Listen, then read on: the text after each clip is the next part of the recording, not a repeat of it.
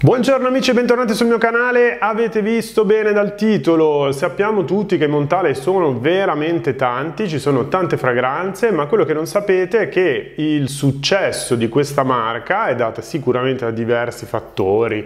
fortuna, intelligenza della proprietà, eh, costo, tipologia di fragranze, non in ordine di importanza, insomma sono tutti quello che possiamo pensare abbia fatto sì di creare una cosa così unica come Montale. Tutti ormai lo conosciamo, comunque tantissimi, è diventato un marchio che dall'essere di nicchia comunque è veramente utilizzato a tutte le età, eh, tutte le tipologie di famiglie olfattive o quasi perché sugli agrumati rimangono sempre un po' senza. Quello che ho pensato di fare è di parlarvi dei Montal di cui non si parla mai, cioè di quelli che se volete un po' eh, riprendere le fila del discorso iniziale, cioè di andare a vedere quelle fragranze che venivano alcune, eh, perché altre venivano messe anche non per forza di quell'epoca, però di quando proprio è partita la marca, così potete proprio entrare nel merito di eh, queste tipologie olfattive che comunque non so perché un po' sono state sorpassate, ma comunque rimangono secondo me sempre dei cavalli di battaglia di questa marca così intelligente e interessante. Ma bando alle ciance, andiamo subito a vedere di che cosa sto parlando. Come al solito mi sono trovato a dire oddio come gliele metto maschile e femminile per età, per famiglia olfattiva, cioè cerco sempre di darvi una chiave di lettura perché sennò specialmente in montagna se andiamo a vedere quante fragranze ci sono è veramente un caos. Sapete che sono il pioniere del maschile e femminile non esiste, sapete anche che sotto i miei video vi scrivo però eh, che le distinzioni che faccio le faccio in modo arbitrario ma unicamente per darvi magari un'idea di quello che poteva essere l'idea iniziale iniziale di chi ha creato il profumo, cosa che come abbiamo visto spesso e volentieri, specialmente in questa marca, tra l'altro vedi Intense Café eh, oppure in altre marche come Tom Ford, vedi Black Orchid, così, nascevano in un modo e poi venivano acquistati o eh, sempre in quel modo e poi in un altro modo, cioè prima dalle donne e poi dagli uomini, oppure comunque eh, addirittura spostarsi completamente eh, da femminile a maschile e viceversa. Uh, un altro esempio, Cartier Declaration, per dire che mi avete proprio voi stimolato su questa cosa. Ma vedete che ho in mano la mia solita bottiglietta, immagino molto sporca e rovinata, ecco qui, infatti Wild Pear. Questa fragranza io la adoro, cioè la adoro e la voglio proprio spruzzare qua davanti a voi, tac tac. La amo perché è una pera civettuola, cioè è un'idea proprio di pera che ti rimane lì,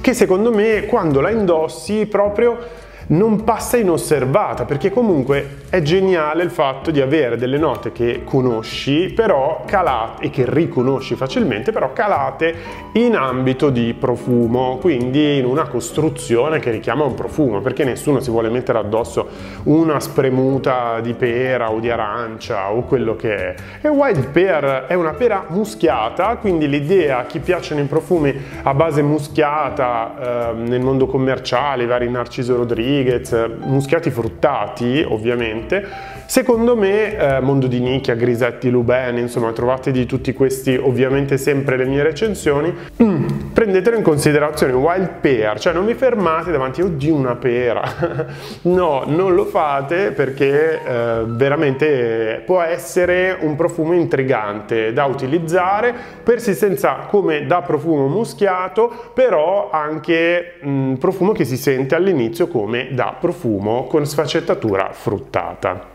Il secondo mi piace tanto, ancora di più, è un profumo che non si trova più in Italia, è uscito da listino, a me dispiace tantissimo, ed è Mango Manga.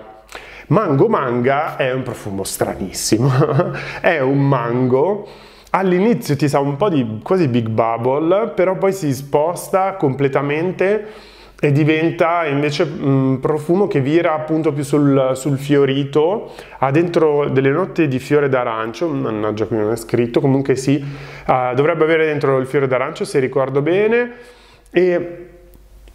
ma è, è particolarissimo, poi anche qui un fiorito fruttato al mango, ah quindi non ve l'ho detto, prima siamo partiti con i muschiati, adesso con i fioriti. Io l'ho sempre adorato sia per il nome ma più che altro per la fragranza che è proprio unica nel suo genere, solo che si trova solamente secondo me online nel sito francese però, quindi è ancora in catalogo generale, però come fa spesso Montale, giustamente anche perché sennò veramente una mole di fragranze in tutte le nazioni, importante eh, va a togliere togliere o più che altro a mettere in alcune nazioni, poi togliere, poi così. Andiamo avanti con i fioriti con una bottiglia bellissima, secondo me di questo ve ne ho già parlato in qualche video perché poi io manco mi ricordo più di quali vi parlo, ormai iniziano a essere tanti video, tanti anni, lo sapete che ci vediamo qua in camera. E um, Intense So Iris. Mi piace. È un iris che parte un po' attutito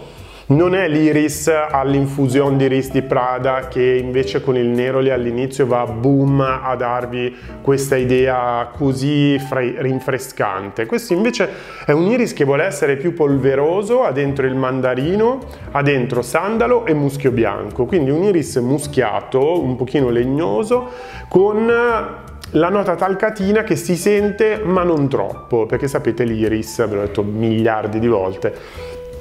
è responsabile della nota proprio più borotalcata, un po' scuretta. E Intense So Iris mi piace, secondo me l'insuccesso o comunque il fatto che la gente non lo consideri troppo questo profumo è perché quando leggi Intense, Intense, mi correggete sempre, ci rimani un attimino perché quando leggi intenso ti immagini una bomba orologeria, invece questo non è così, però come tutti i profumi un po' muschiati, un po' legnosi, eh, rimangono tanto, eh, ovviamente la sua nota dominante è quella dell'iris, rimangono in modo più subdolo, cioè rimangono Mm, quando annusate il profumo, questo era un altro profumo che ho spruzzato prima, vabbè. Bottiglietta rosa, ovviamente molti di voi diranno Roses Mask, appena si vede la bottiglietta rosa, Roses Mask. No ragazze belle, esiste un mondo di fragranze con bottiglietta rosa e montale, quella che ho scelto io è Roses Elixir. Roses Elixir è una rosa con fiore d'arancio e tutte le volte, e anche un accennino fruttatino di fragoline, io tutte le volte che vedo, che faccio sentire Roses Mask, perché di solito succede sempre così, ah c'è una mia amica che utilizza questo profumo che mi piace un sacco, Uh, e ovviamente noi che sappiamo quali sono i profumi che vendono di più iniziamo ok Intense Café, Roses Mask um, mi ricordo più Oddio. Intes Café, Roses Mask, Dark Purple, insomma, no, secondo me Dark Purple no. Vabbè, ce ne sono tanti, mi, mi vado a confondere anche io. Oh cazzo però, Intense Caffè, Roses Mask, ah ma certo tutte le vaniglie, madonna scusate, è sempre mattina eh, vanilla, mm, sweet vanilla, piuttosto che andate a vedere il mio video se volete sapere quali sono. E che cosa succede? Che ovviamente eh, non sapendo qual è quello preciso, via, allora sarà Roses Mask, Rose Elixir, Crystal Flower, tutti con bottiglietta rosa. Ed è incredibile come tutte le volte che faccio sentire gli altri, mentre poi si finisce sempre su Roses Mask, devo dire, ed è un peccato, ed eccomi qua infatti con Rose Elixir, pensiero in mano, penso, ma caspita, che buono che è, cioè perché mi verrebbe da scuotere la persona e dire no, aspetta, non roses mask subito, ci puoi arrivare un attimo dopo, ma puoi avere il tuo profumo un pochino più alternativo, però all'interno sempre di questa tipologia di fragranza fiorita, eh, tendenzialmente muschiata, anche se questa è un pochino più corposetta perché ha dentro anche un accenno di vaniglia. Roses Elixir, secondo me le dovete dare veramente una prova. Come anche, questo è un profumo invece più contemporaneo, non ricordo precisamente quando è uscito, ma mm, qualche anno fa.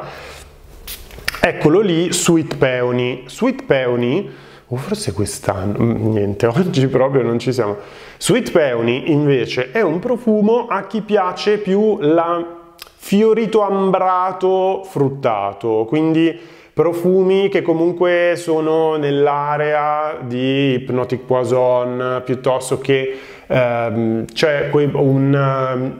potrebbe essere anche, non so, di gritti, eh, macramè, eh, cioè ci sono varie varie fragranze insomma in quest'area che sono quella che appena la senti dici ah fiorito fruttato invece no è più corposa una base un po' più cicciosa e questo profumo è un po' più elegante un po' più trionfale Sweet Peony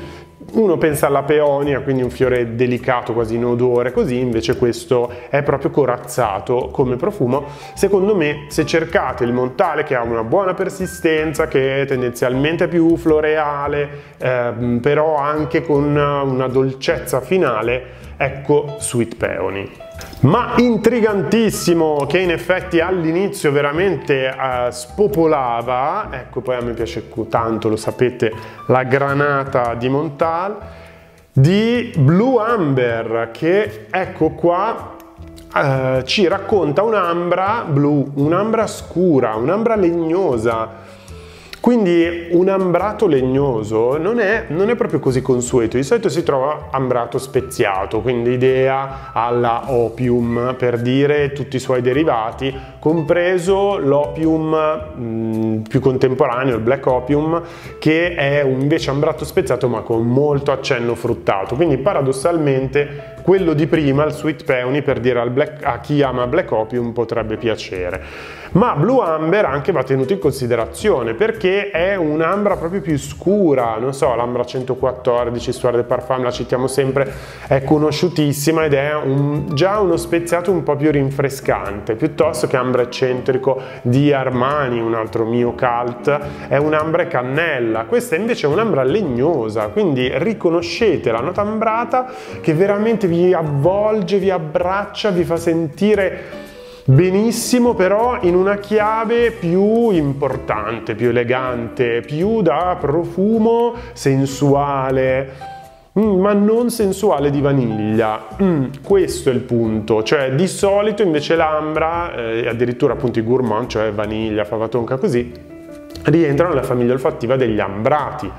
e eh, però eh, come dire non a tutti piace il profumo dolce. Quindi se ti piace il profumo ambrato ma non dolce via di Blue Amber. Siamo al settimo settimo ho sbagliato. Sono andato agli ambrati c'era ancora un fiorito. E questo Powder Flower è un fiorito che veramente ha un sacco di fan, ne aveva secondo me sicuramente di più una decina di anni fa, perché una decina di anni fa era molto più in voga il profumo alla Tendenege, quindi il profumo talcatino, Tendenege di Lorenzo Villoresi, Talcatino, un successo importantissimo, è tipo Ambroxan con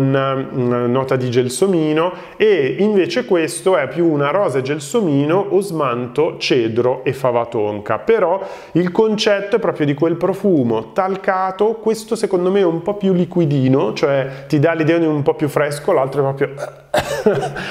l'altro veramente tutte le volte che lo vaporizzo un po' mi prende in gola, però non è bello tossire proprio quando hai appena vaporizzato il profumo davanti alla persona perché sembra quasi come dire vabbè il profumo che ti sto dando fa tossire. Però a parte le questioni di educazione ci sono dei profumi, specialmente quando poi parli tanto e sei in profumeria ti può capitare che ti venga da tossire, poi adesso col covid immaginatevi se chi fa un colpo di tosse veramente si crea attorno a lui il vuoto. E Powder Flower è però un profumo che vi darà soddisfazione perché ha questa nota quasi, ecco, è talcato ma richiama quasi l'odore delle bolle di sapone, quindi quando lo sentite richiama quasi un'idea un po' alcolica e questo lo rende un attimino più portabile secondo me anche d'estate, un po' più fresco perché Tende Neige, infatti tutti usano l'eau de toilette tendenzialmente, o de parfum o parfum, ho visto solo poche persone arrischiarsi e Powder Flower però vi darà soddisfazione anche per cambiare un po' perché veramente chi usa Tende Neige difficilmente riesce a spostarsi. Come anche, eccoci qua, a un altro profumo che invece è più è ambrato, è un ambrato gourmand ed è Sweet Oriental Dream. Questo profumo eh, è un profumo che sta, diciamo, risolvendo un problema a tante persone, a tutte le povere eh, orfane o i poveri orfani di Lucum di Keiko Mesceri, perché Sweet Oriental Dream è proprio veramente molto simile, ma eh, vi darà questa idea proprio di profumo vanigliato più che altro, ma una vaniglia molto secca difficile proprio riconoscerla la vaniglia. È una vaniglia un pochino che vi sa quasi di qualcosa di più aromatico e Sweet Oriental Dream poche parole, cioè l'ho sentita, un'ottima persistenza, non è proprio la classica vaniglia appunto riconoscibilissima, ha qualcosa di più e più che altro appunto è un, un profumo che insomma ha la sua identità per chi già magari utilizzava l'altro profumo. Detto questo,